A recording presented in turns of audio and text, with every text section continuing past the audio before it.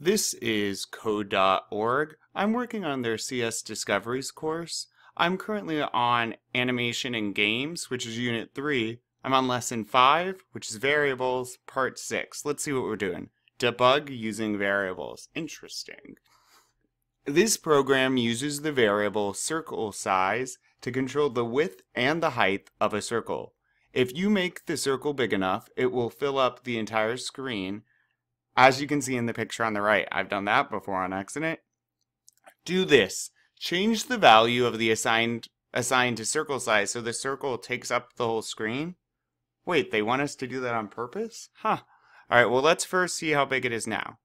Oh, well it's already large. So what they're saying is they want us to use the variable.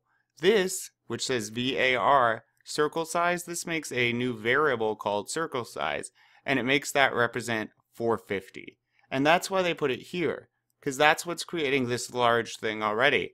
I just want to show you so you understand. If I change this to 45, well now the size is going to be 45 by 45. Watch. Much smaller, alright? They want it to fill up the screen. I know the screen's 400 by 400, but I'm just going to put a couple zeros in here. Bet that fills it up. Hope it doesn't crash.